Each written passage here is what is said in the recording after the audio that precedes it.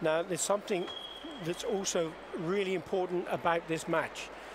And the fact is, the person who wins this match becomes grand winner. Wow. That is how tight it is.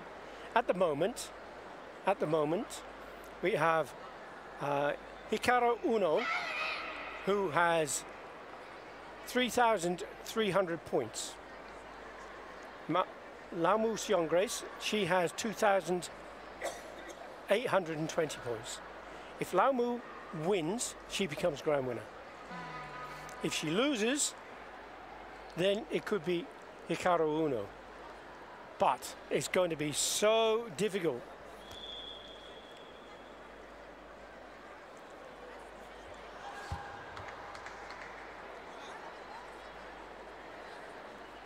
Now she has to win this because if she doesn't, Hikaru Ono takes it because she took the bronze medal in the Premier League here. Oh, So it's that tight. that's very tight. But the good thing, she has to enjoy. Uh, She of course, of course. the performance. She, she wants to win this match. She wants to win the Premier League. She wants to become the grand winner. sure. But you can put too much pressure on yourself, can't you? Yes, you have to enjoy doing karate because it, the only thing we, we love, we love to do is doing karate, playing kata, playing kom- kumite, and uh, I wish both of them good luck.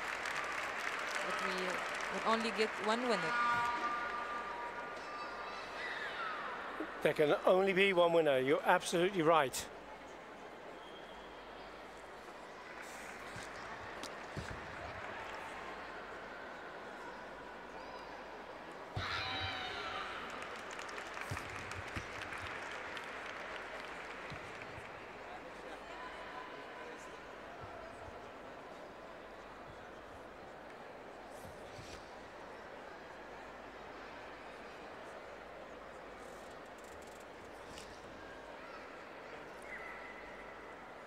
Different styles of karate. The main styles, Shotokan, Wado-ryu, Shito-ryu, and Goju-Ryu. Each of them have their own katas. And there are subtle differences, aren't there, between the styles, Diana, in kata. Different, uh, different stances, different feet position. Very, very important to kata to get them correct. To do it.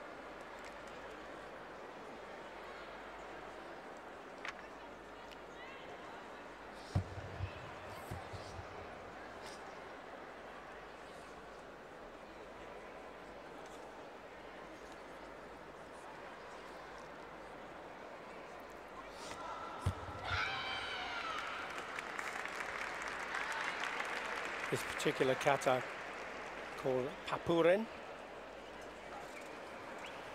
Now with the round robin system, it's possible to repeat katas in different stages of the competition. In the round robin, Lamu Xionggrace has already performed this kata Papuren. She also performed Anshu, Tomari no Bassai, and Suparinpei, Chatanyara Kushanku also.